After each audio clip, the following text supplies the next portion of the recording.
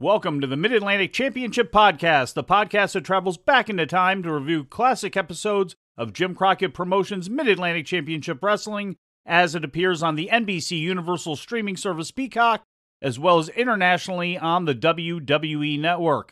Before we begin today's voyage, I'd just like to note we have social media on several platforms. Our Twitter is the most active, but we have a Facebook page and more. Just search at Mid Atlantic Pod and look for the logo.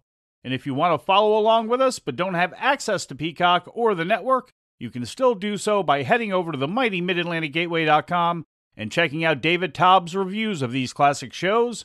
We'd also appreciate you heading over to youtube.com slash midatlanticpod, where you can find full podcasts, truncated versions of classic episodes, plus special audio and video clips exclusive to our page and often with the great assistance of the mighty Mid-Atlantic Gateway website. Go to youtube.com slash midatlanticpod and please subscribe, watch, and like the videos. It would be doing us a great service. Now, with all that out of the way, today in episode 43, we take a look at the television that was taped on Wednesday, November 17th, 1982, at the WPCQ Studios, Channel 36 in Charlotte, North Carolina, and began airing in local markets beginning that weekend of Saturday, November 20th. And I bring in my co host right now, Roman Gomez. Roman, we have a very special edition of this show as a lot of it is going to center around a house show that took place on November 12th in Charlotte. Yes, lots of good action. You know, it's not the uh, squash uh, filled show or anything like that. Lots of good action, lots of good clips. There's some excitement going on in this episode. Absolutely. And uh, the action begins once again, joined in progress, which has become a regular feature of the television show in the last few weeks. It's our first look at Cowboy Bob Orton Jr., who is in the ring against Ben Alexander. Orton is another in the long line of familiar Florida faces being cycled in. He was very successful in the state over the years, teaming with his father, teaming with Dick Slater, on his own as a singles competitor. Orton was working in the WWF, where his reputation amongst fans began to swell due to being more prominently featured in the magazines, which were mostly based out of the Northeast. He faced Bob Backlund and Pedro Morales for the WWF and Intercontinental titles in every major city before leaving the territory and embarking on a New Japan tour where he went undefeated in all of his singles matches, only being on the losing end of four and six man tag team matches, all of which were opposite a team led by Antonio Inoki. So, fresh off of all of that, Orton was coming into the area with a big time reputation. He's in the ring against Alexander, and Tommy Young's our referee for the day. As is usually the case with these show openers, we see about 30 seconds of it. Orton delivered an atomic drop, held on, and then used a belly to back with a bridge to get the pinfall victory. So uh, that was that, Roman, as we uh, have another in a line of 30 second hot openers to begin the show. Yeah, and it definitely put the shine on Orton when Piper said that Orton had taken Backlund to a one hour draw. You know, they didn't show a lot of the Orton match. You know, we, we it was a very short match and everything, but that little segment right there where Piper said that he took a Backlund, the world heavyweight champion, to a one hour draw, you know, really helps put a shine on Bob Orton Jr. Yeah, and you mentioned uh, Roddy Piper being on commentary. He joins Bob for the entire hour. And after his match, Orton stopped by momentarily and revealed exactly what he was doing in the Carolinas. Roddy Piper called me. He interrupted a beautiful vacation I was having, him, but I don't mind because the house of Humperdink has got to fall. Yeah, Roddy Piper and myself. Pleasure to be here. You we're talking about fighting fire with fire. We're talking about bringing guys in now that, that, that know exactly what they're doing. They got Jos LeDuc. They got House of Humperdink. That's one in Singapore. We saw one of those, didn't we? Yeah. yeah, House of Humperdink. We got all kinds of stuff. And what you're looking for, if you want to fight fire with fire, you got to look for guys like this gentleman right here, and he just proved himself. All right, fans, and we'll be back. We'll have more. And there we hear Bob Orton and Roddy Piper, a short one from them, announcing what Orton is doing in the area, and that's helping out Piper, Jimmy Valiant, Abdul the Butcher, and anybody else that wants to take the fight to the House of Humperdink. So uh, Roman uh, Orton now into the area with, with Roddy Piper, both as baby faces, obviously more legendarily they will get together in the WWF and uh, join forces there as a, a great duo inside of Piper's Pit. But here they are as as baby faces, and it, it just seems like sometimes in Mid Atlantic at this time. Uh, you know, everything is uh, completely opposite of uh, what we usually think in the wrestling world. Yeah, you took the words right right out of my mouth. I'm so used to seeing Orton and Piper as heels, like you said in the WWF. So to see them together as baby faces in Mid Atlantic is definitely going to take a little getting used to. Back from break, Ricky Steamboat has joined Bob, and the two begin to watch some videotape from Friday, November 12th, five days prior to this television taping. The Charlotte Coliseum, Steamboat and Jay Youngblood against Sergeant Slaughter and Don Kernodle. This became one of the most important pieces of the puzzle on the way to Greensboro in the March of 1983. We're going to start eavesdropping here about four minutes into the interview. The match is coming to a close, and we'll hear what happens that causes so much heat and helped add to the lore of this feud. The attack right now, lifting him just straight up, high in the air, Rick, right down, right down on his face and, and on his chest goes Slaughter, and that man weighs over 300 pounds, so that's a lot of weight coming down right there, Rick. You know, here's that famous slingshot that we use. One, two, three. Three. Youngblood and myself had heard that three thump, that three count from the referee. We had thought that we had won the belts right then and there. Wait a minute. What, what, is the, what is the referee saying right here? What's He's he doing? saying that Slaughter had his foot on the rope. He couldn't stop his hand on that third count, and he didn't see it until afterwards. Ooh, and from behind, you get hit by Kernodle, and down goes the referee. I run right into the referee. Kernodle hits me from behind. And as Jason right there sees what's going on, he's got to get something with Slaughter. He's got to get on that man. The referee is trying to signal, I guess, at the time to continue the match, but as you can see, he's still down. Jason's trying to fight back. Slaughter's got him around the legs. Now here comes Kernodle, hits Jason from behind, double teaming right then and there. You two guys really let your guard down then when you heard that, that third smack on the mat, didn't you, Rick? Well, we, we expected to have the belts around our waist right then, and just a, a moment of glitter right there. All right, and here is Youngblood as he's double team coming off the ropes goes down from that double chop and Slaughter now and Kernodle both standing right over. Referee Tommy Young still dazed, just sitting over in that corner. Looks like he's just not able to get to his feet at this point. And here is Youngblood just held high to the air there by Kernodle and off with it. Oh. You know, before all this took place, Kernodle ran outside and posted me to get rid of me. And he did that just then, he did that just to hurt Jay Youngblood. They had a particular hold and Oh, move right here now. you Cobra. See, Sarge came off the top with that Right, clothesline on Youngblood's neck. And you can see that he's got the Cobra hold on him right then and there, and he's trying to hurt his neck even more. Kernodle gets rid of the referee. Now, right here is where the damage is being done, as you can see. Slaughter's got the Cobra on Jason's neck, which is already hurt. Kernodle is grabbing him by the legs there. Now, they're censoring this part right here now because of the fact of what they mm. had done to Jay Youngblood is not to be shown. But what I can say is that here it is after the match is over. I couldn't believe it. Youngblood's neck muscles have been ripped out. We don't know exactly how long he's going to be out, but from the last time I talked to him, maybe four weeks, maybe hmm. five weeks. At least they know it's over a month. Right now, I'm very concerned. I'm trying to get him in the back. I want him to be looked after. He's unconscious right near now. I don't know if anybody that was there that particular night could have seen Youngblood's face, but he was foaming through the mouth. He was even bleeding through the mouth, and I'm just trying to get him back into the mm-hmm. locker room. And what I did is I took him straight back to the locker room, and then I took him straight to an emergency clinic. And the next day he flew down to Texas to have his neck looked at at a specialist down there in Texas. Now, like I said, nobody knows exactly how long it's going to take. I don't know. Youngblood doesn't know. If you were in a car accident with a neck problem, I guess a doctor would say that you're you're looking okay. But in professional wrestling with a neck problem, you're not That's really right. sure how long it's going to take. But Youngblood has told me this: that if he's able to come back and wrestle, we're going to tag out once more. We're going to sign those contracts. We're going after those belts. Youngblood told me he's at least going to go down fighting. All right, fans, that's the story right here from Rick Steamboat. And we'll be back. We'll And as Bob says, there you hear the story from Ricky Steamboat, what went down at the Charlotte Coliseum, the injury suffered by Jay Youngblood that we couldn't see. They were censored. It was too diabolical to be shown on television. In reality, what it was, it was Sergeant Slaughter holding Jay Youngblood in the Cobra Clutch as Don Kernodle lifted Youngblood's legs up, putting even more pressure onto his neck as they dropped him down to the mat.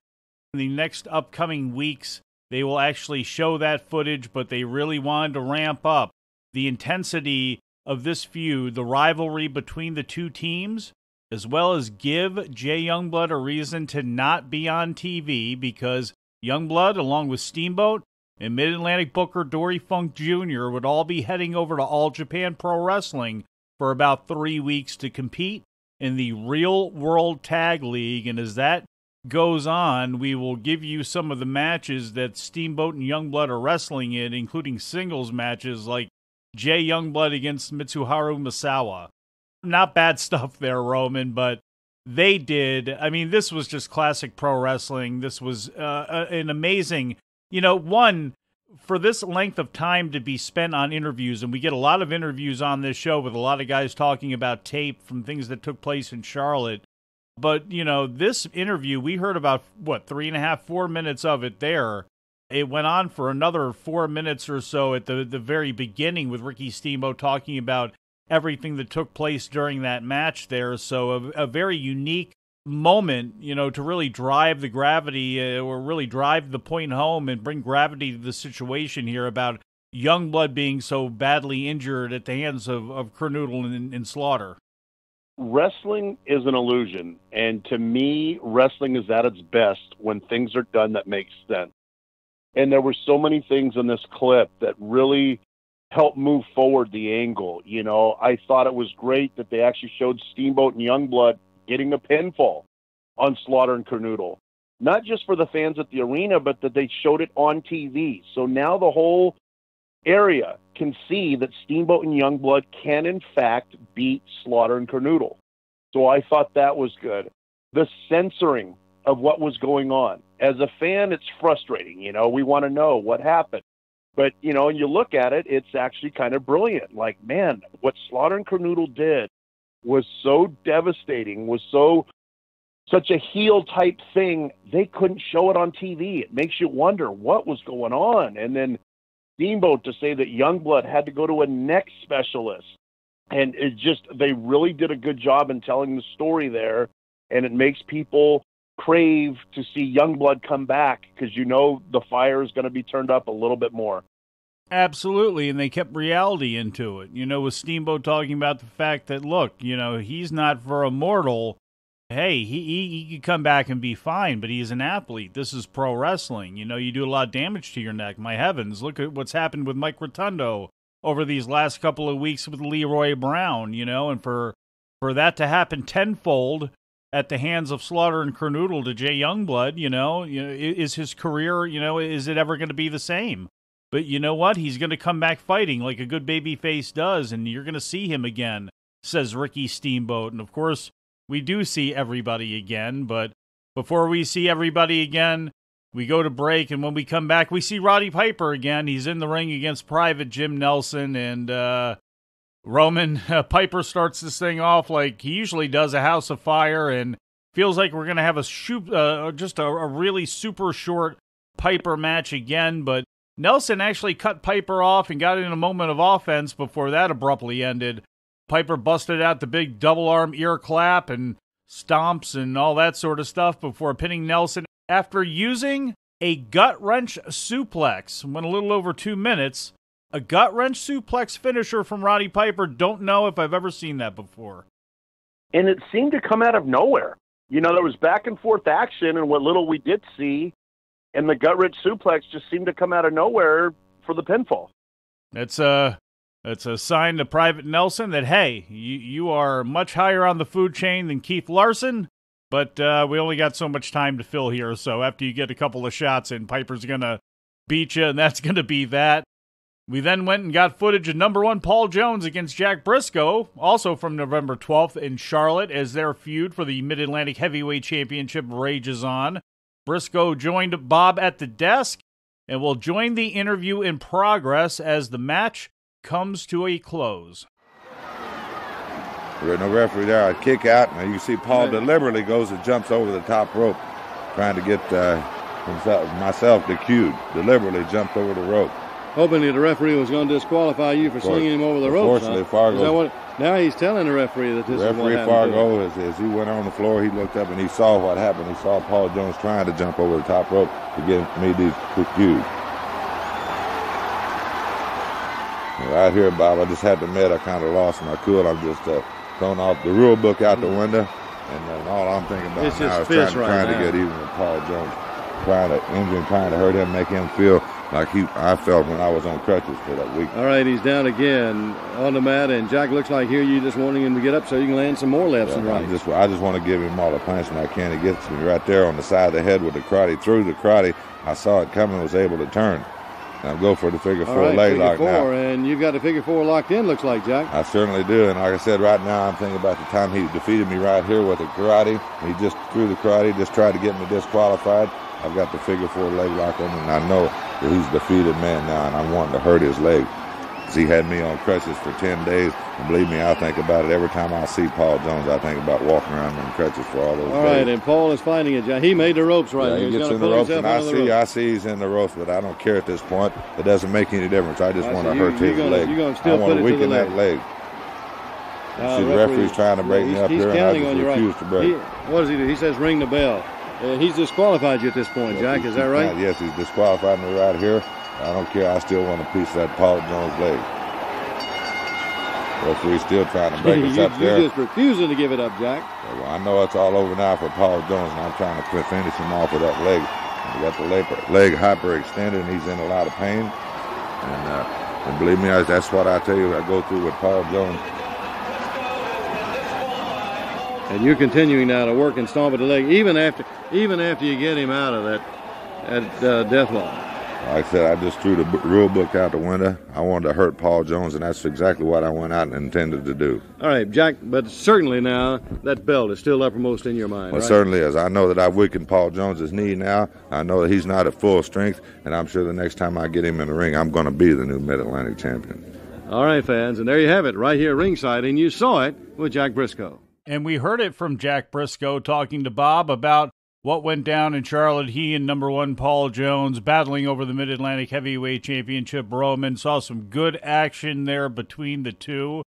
As one would expect, these guys have been wrestling each other at this point now well over a decade. Paul Jones was a uh, top man in Florida for a long time in the early 70s. And of course, Jack Brisco, former NWA World Heavyweight Champion, just a classic. Great to hear him do an interview and actually get some time in here, Roman, as everybody did on this show. As uh, these interview segments really, they gave these guys a lot of time to tell the story of what took place in Charlotte. Yeah, and I thought it was funny when Paul Jones went over the top rope. When I initially watched that, I go, "Come on, this just looks so ridiculous." But then when Jones went up to the ref and like he threw me over the top rope, disqualify him, I was like, "What a great chicken bleep heel type move to do!" You know, to throw yourself over the top rope and then complain to the ref and say that the other wrestler threw you over the top rope. So I thought that was kind of cool.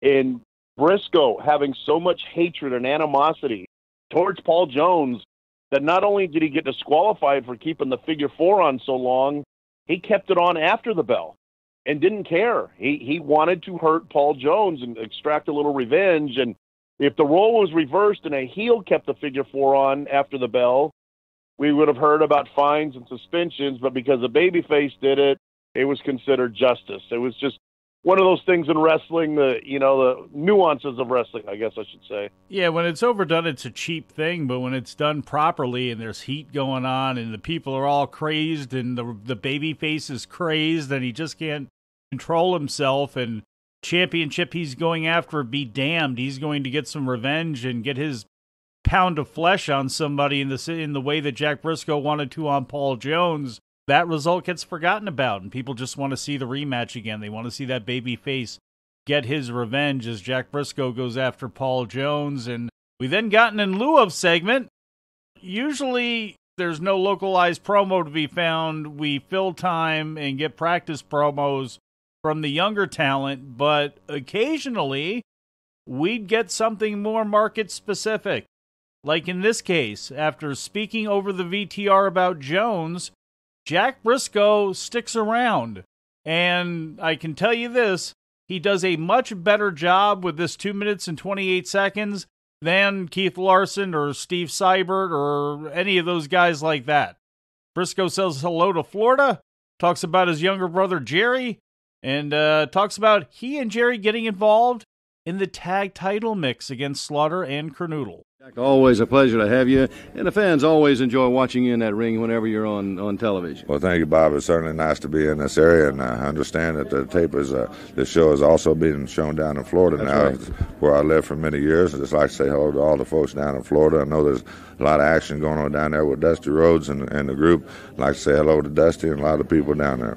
All right, and uh, as you say, a lot of action down there, a lot of action everywhere. What about the action for Jack Brisco? Well, the action for me is, of course, trying to get Paul Jones. To Paul Jones defeated me right here on this television for the Mid Atlantic Championship.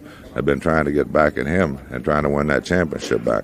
Also, you know, Jerry is going to come in this area and join up with me here, and I'm I'm real happy about Jerry coming in. And uh, of course, you know, the world's tag That's team right. champions, uh, Slaughter and Kernodle, right here, and. Uh, and you just seen a while ago what they did to Jay Youngblood. And Jay Youngblood's a friend of mine. He's a friend of Jerry's. And I know how bad uh, Steamboat's feeling right now, losing a close friend and his tag team partner like Jay. But uh, believe me, uh, Jerry and I want to get even with these guys. We want to help Steamboat out in any way we can, and we'd certainly like to get a match with these guys for the world Uh, championship. Jack, it looks like now Slaughter and, uh, his partner Kernodle looks like even now that they want to go hurt somebody. They want to put them out. They want to get rid. That's the way they're going to get rid of the opponents. Well, it was obvious in that match that Steamboat and Youngblood had him defeated and was on the way to becoming world champions. Just like Steamboat said earlier, I thought they'd won the belts too, but Slaughter had his leg just barely over that rope, and they didn't. So, uh, you know, uh, Slaughter and Kernodle then just, uh, of course, went just like you said, went in and deliberately hurt Youngblood. All right, Jack, you've been to the top. You've been a world champ, uh, and it, there's always something extra special about being champion, and that's something I think that all athletes strive for, right? Well, it certainly is true, and the goal of every wrestler in professional wrestling today is, of course, of to attain the world's heavyweight championship, whether it be in tag team or in singles. Of course, Ric Flair uh, is doing a great job as world's champion. You know, I don't agree in, in uh, the other ways he does or the, or the tactics he uses, but the man has done a tremendous job. He's uh, he's uh, wrestling all the time. He's wrestling the, the top men all over the country, all over the world at all times, and he's uh, he's a man that uh, is going to have to take another man to defeat him, and he's been a real great champion. But I'd sure like to get a chance at him. And fans, that's it right here, ringside with Jack Brisco. So there we get a little bit of bonus Jack Brisco, the former NWA heavyweight champion Roman. You know, that's how you do one of those things, you know, for those guys watching backstage, uh, Larson's, your Cyberts. I, I pointed those two guys out. They're gone right now. I guess I could substitute guys like Ken Timbs, former Marine Gary Black, who we saw on last week's episode, guys like that. That's how you do that there. Jack Brisco never raised his voice just kept in a, an even, even steady keel. And, you know, for a guy like Brisco, Bob Caudle and Gordon Solie, who are the two main announcers that he's always going to be associated with, I mean, perfect matches for the type of speaker that he was. Yeah, they can definitely lead people through an interview, which is so important, you know, for the announcer to be a conduit to the fans and to lead things the way it needs to go and, and to understand like, well, this wrestler's struggling. Maybe I should ask him another question or, you know, Caudle and Solie were just so great at what they did. We then went to break, and when we came back, the new United States heavyweight champion, Greg the Hammer Valentine, is alongside Bob to re- also review some footage. Last week, we saw the close of Valentine's match against Wahoo McDaniel in Norfolk, Virginia on November 4th with Wahoo's comments. Here we see a little bit more of the film, and we get to hear Valentine's thoughts on whether or not he used a foreign object to KO the Chief. We'll pick up the hammer, joined in progress. Dance. That fact- tomahawk chop. In fact, maybe Really they can get you him a job as a wooden Indian or something, huh? Now here he goes. He's going to take me out. This is the kind of wrestler Wahoo McDaniel is. Always cheating. He's going to ram my head into that iron post. Well, what do you got to say about that, Bob Caudle? You call that fair, huh? You call that fair? That's the Indian in him. That's the savage. That's the no good, rotten person I'm talking about. That's why he has kept the belt for so long. Because he does that to all his opponents. He brings in steel chairs, he runs them into the iron post, he brings brass knucks in the ring. He does anything that he can do to win. There he is again. another chop, another one of those That's right. chops. Well, I'm dazed. And I'm bleeding also because the man, like I said, he just ran me into the iron post. There goes another hard chop. Now I got to admit, Wahoo McDaniel's got the upper hand here. Ooh, right across the mouth. But as you can see right there, I put my foot on the rope. I saved myself. You understand? That's how smart I am. Now Mr. Humperdink's coming over. He's going to give me some encouragement. This is the pitcher in question now. They said that that Mr. Humperdink handed me something. That is false. All he did was come over and say, You're doing a good job, Greg. Get up there and beat that in and get that U.S. title. There you go again. He's illegally like, reaching it over. looks like you're holding something. No, I'm not holding anything. He's illegally reaching over the rope. He shouldn't be doing this. He should be letting me getting into the ring. Now he's illegally suplexing me from the outside. But watch the hammer. The hammer right there. Now watch this, Bob Caudle. It's a proof of the pudding. One, two, three. The new champion, Greg Valentine.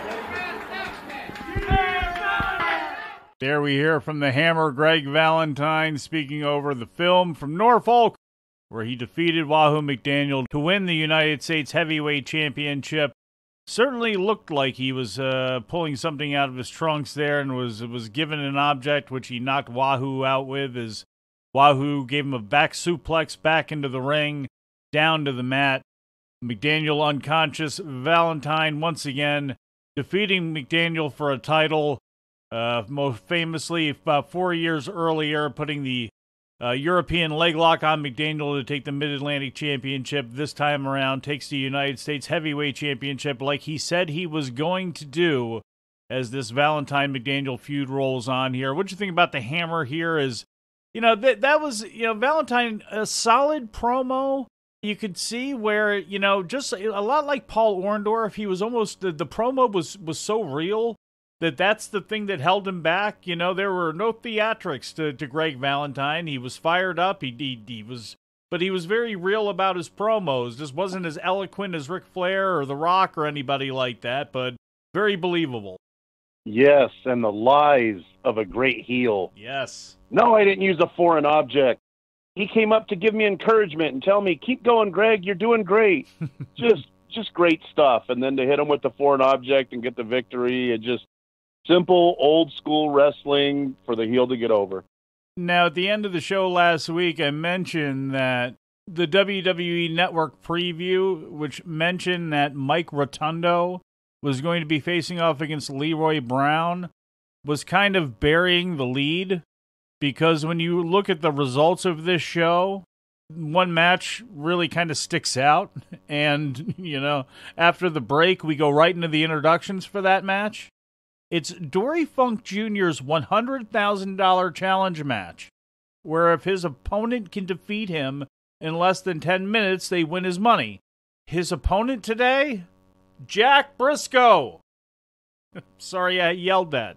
Jack Brisco, fellow former NWA World Heavyweight Champion. He's going to be the one facing off against Dory Funk Jr.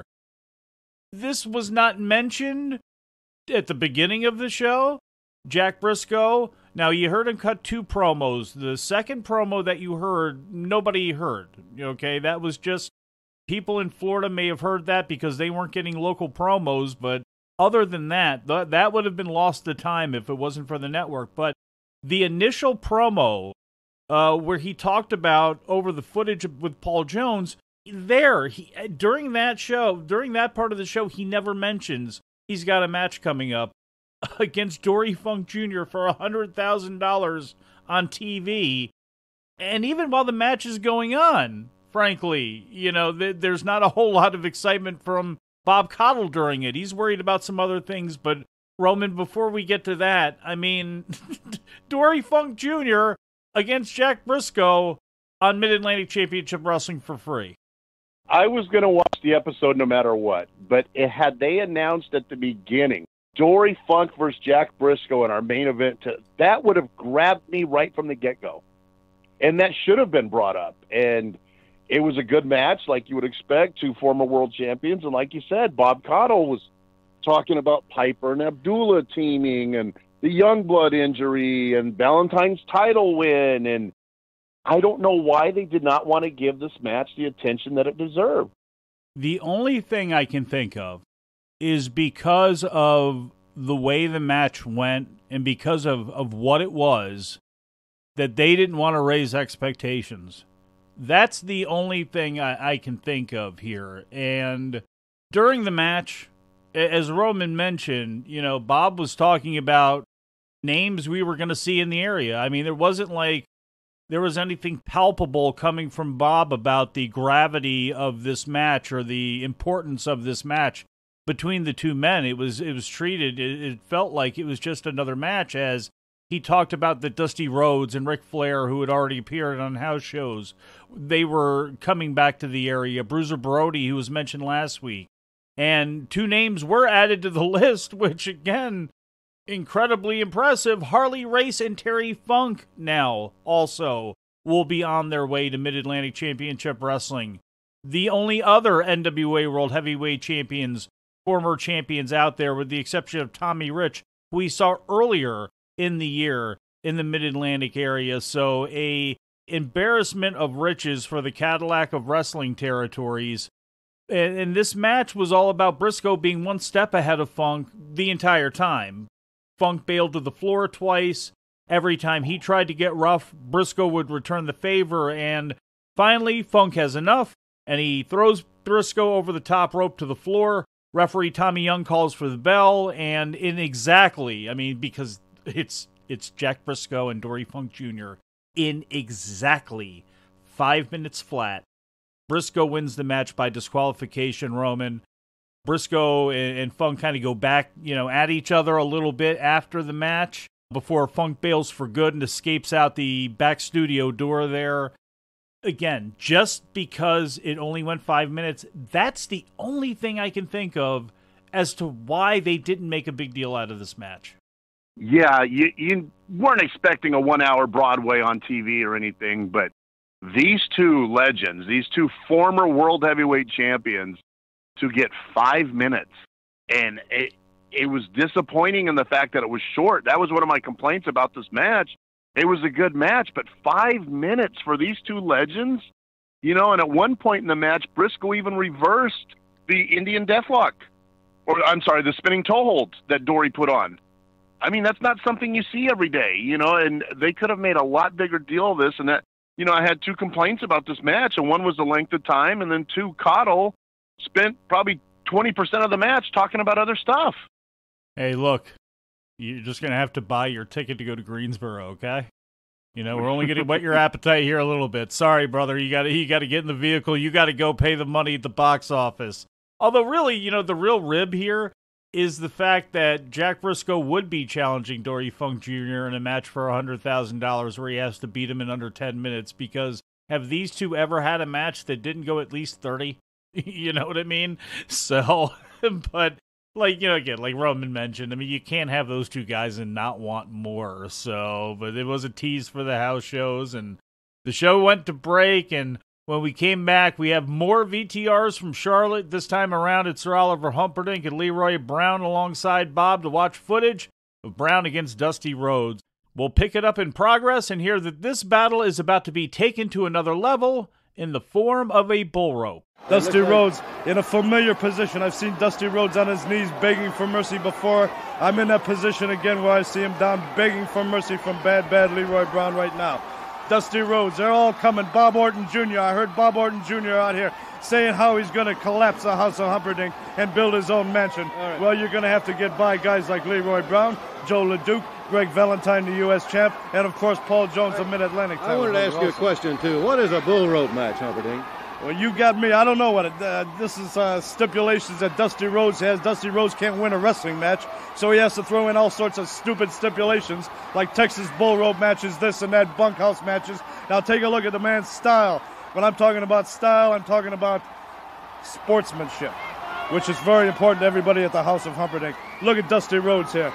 Look at Dusty Rhodes. Unsportsmanlike conduct, I'd call it. Yes, indeed. Yes, indeed. Of course, the people like it because they're behind this man. They're behind him. They know what he's here for. He's here to destroy us. But he's not going to do it. You know, let me tell you something. I'm the man that whooped that big Dusty Rhodes in Florida, and I'm the man that'll do it right here in Carolina. Let me tell you, a bull rope. I now know a bull rope match is, but one thing, I used to work in the slaughterhouse back in Chicago. And one thing I learned back in, the slaughterhouse is that to take care of big pig like Dusty Rhodes. he's biting on Yeah, now there's there's your American yeah. dream. There's your former world's heavyweight champion. biting, actually resorting to biting, and they call Leroy and I dirty wrestlers. Let me let me redefine that word. Dirty wrestlers is Dusty Rhodes. There, Dusty Rhodes. How does it feel? Excedrin headache number six, brother, and he's not through yet. Take a look at this outside the ring, peppering him with punches, splitting that big old head open just like a watermelon.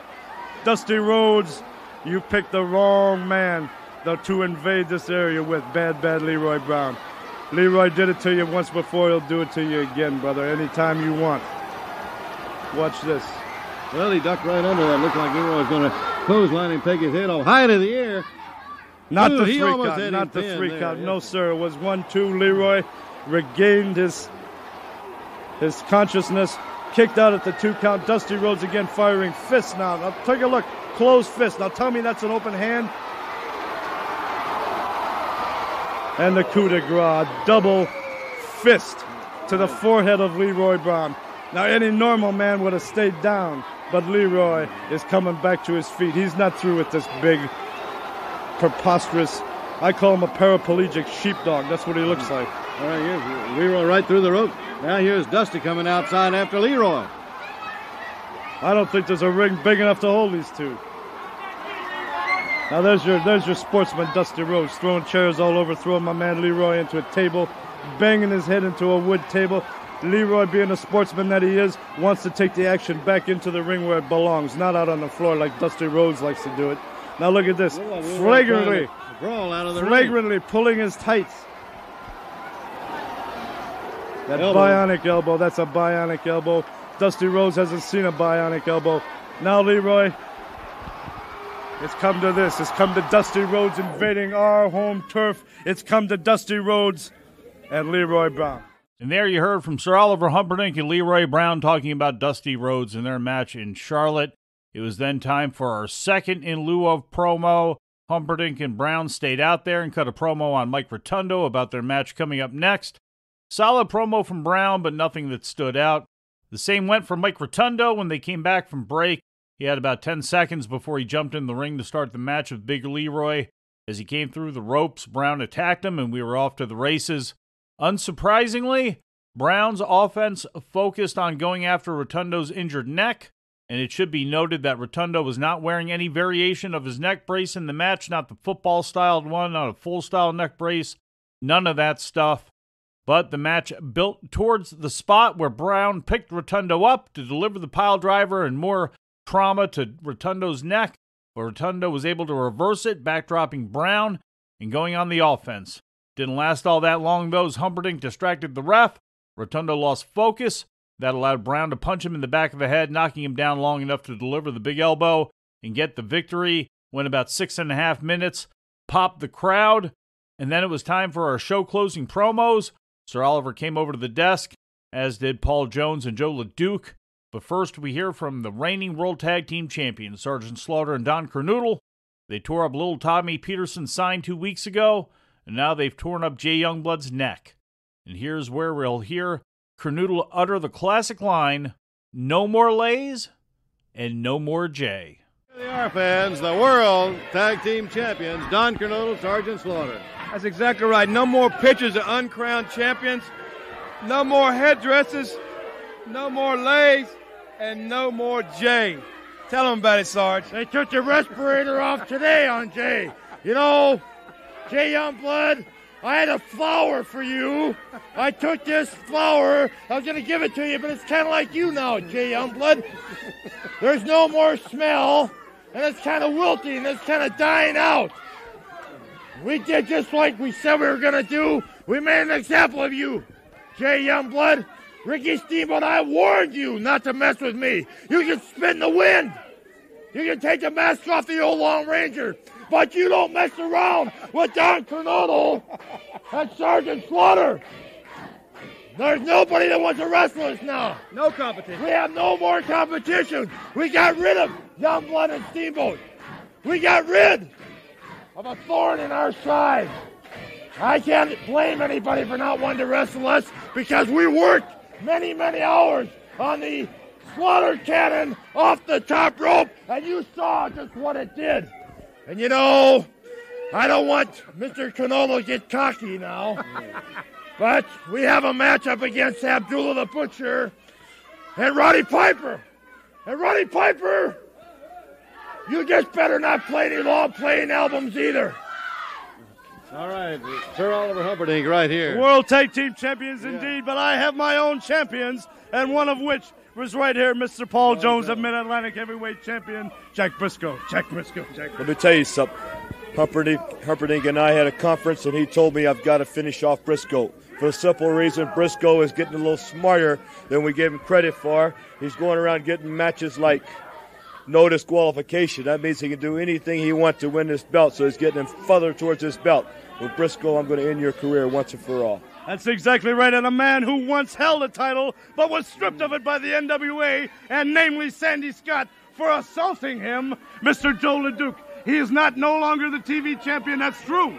But let me tell you one thing Jimmy Valiant, everywhere you look, that's going to be behind you, brother. So keep one good eye over that shoulder because we're right behind you. And there we hear the show come to an end with the words of Sir Oliver Humperdink, Jos LeDuc, stripped of the Mid Atlantic Television Champion, as you heard, for putting hands on Sandy Scott and the battles that he was having with the Boogie Woogie Man Jimmy Valiant. Locally, if you were watching this show in Greensboro, you would know that coming up on Thanksgiving night, they would be filling that position via 20 man over the top rope battle royal where the last two men would face off against each other. But LeDuc's battles with Jimmy Valiant, TV title or not, uh, would not be ending. But we had heard from Sergeant Slaughter and Don Kernodle at the very beginning there, Roman, and a great line from Don Kernodle.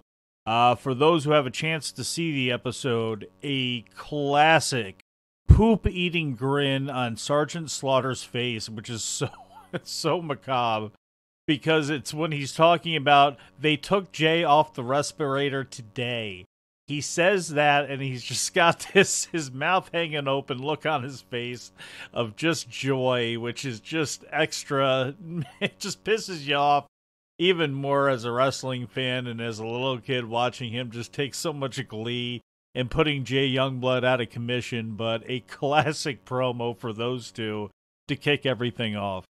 They were quite proud of their accomplishments you know and uh like you said slaughter with that grin and and thank goodness there was no internet back in the 80s because that angle would have never worked. People would have been like, you didn't really injure him. He's in Japan, you know? So it was great the time, you know, that was going on in the 80s with the fact that you could do angles like that. And uh, no more lays, no more Jay. Roman, now that we reached the end of this thing, is there is there anything that we didn't touch on that stood out to you that uh, you want to talk about? Uh, well, we've touched on everything, but I, I enjoyed this episode, even though it was very highlight driven. And, you know, with the young blood injury, I thought that was cool that they censored that to add a little more deviousness, if you will, to the heels. That what they did was so bad it had to be censored. I enjoyed the Dory Funk Brisco. Not every day you're going to see two world champions on TV for free.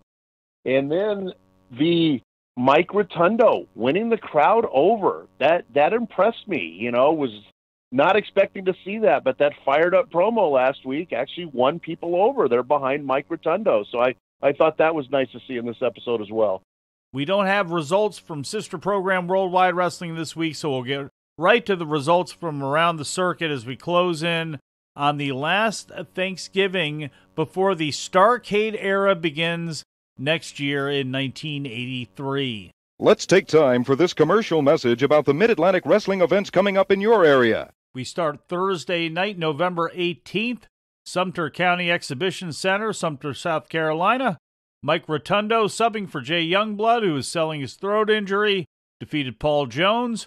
Jack Brisco would pull double duty that night as he would defeat Dory Funk Jr and also filled in for Wahoo McDaniel, teaming with Sweet Brown Sugar to knock off Sergeant Slaughter and Don Kernodle.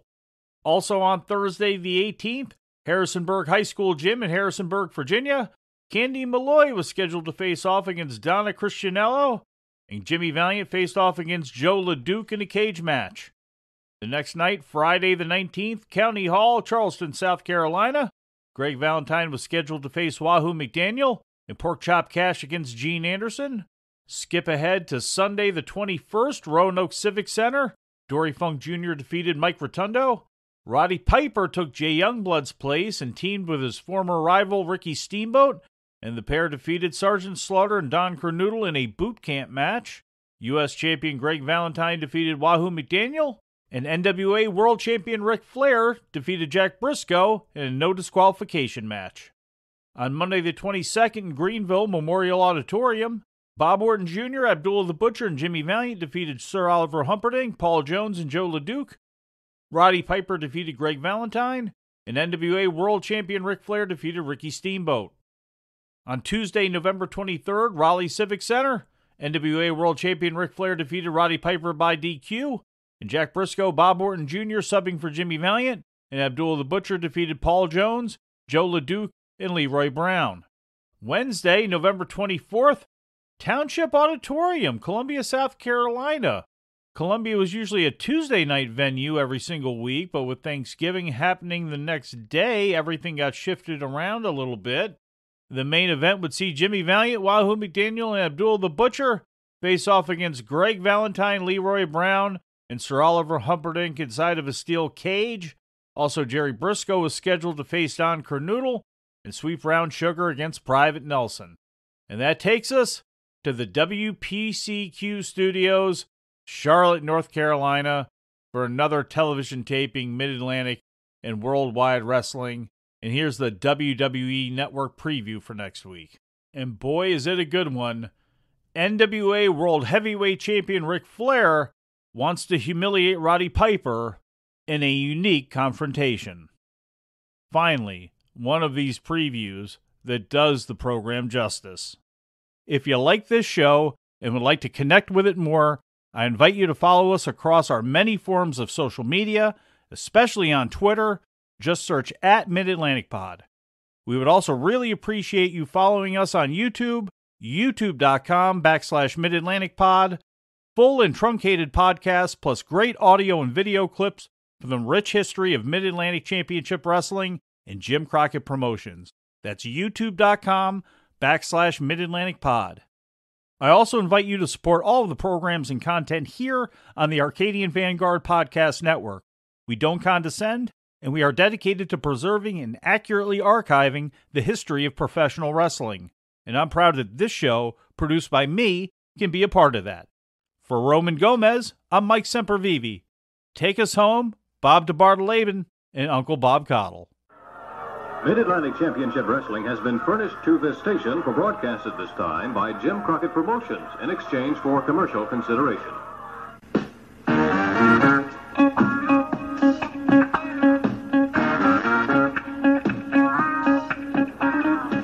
Fans, next week on Mid-Atlantic Championship Wrestling, Bobo Brazil and the Mighty Igor against Charlie Fulton and Tony Russo. Mr. Wrestling will take on Larry Sharpe. Paul Jones and Wahoo McDaniel against Kim Duk and Ricky Ferrara. Superstar and the Russian Stomper against Francisco Flores and Steve Kovacs.